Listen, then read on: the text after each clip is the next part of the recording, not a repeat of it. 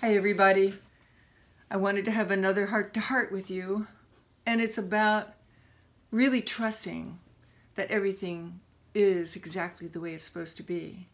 I think a lot of people who don't have that intrinsic trust that everything is the way it's supposed to be are having a hard time right now.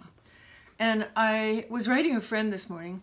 She lives on an Indian reservation in New Mexico and she is a lover of spirit, as I am.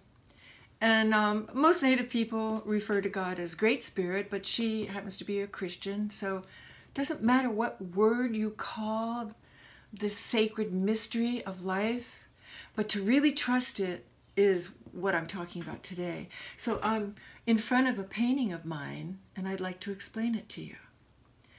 It's actually a portrait of the whole shebang. It's God as an anthropomorphic figure, this big figure here. And we are all connected here as illuminated souls who are all of the same consciousness as the sacred is. Some of us don't know it, but some of us work with that energy.